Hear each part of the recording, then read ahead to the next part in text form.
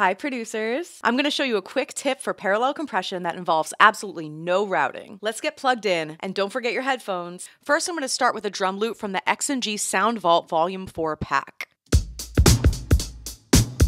Next, I'm going to add iHeart NY2 by Baby Audio to my track. Parallel compression is taking a compressed sound and mixing it with the dry, uncompressed sound, and this plugin makes it so easy to do. Everything is on one simple XY axis. This axis controls the percentage of how much compressed versus uncompressed signal we hear, and this axis controls how much compression is added. So if I want something to have just a little bit of parallel compression, I can move this dot somewhere in here.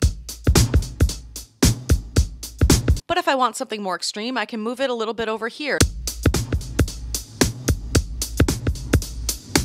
Click Tweak to adjust the compression further, and make the compression 100% wet if you just want to use this like a normal compressor. Try iHeart NY2 for free on Splice.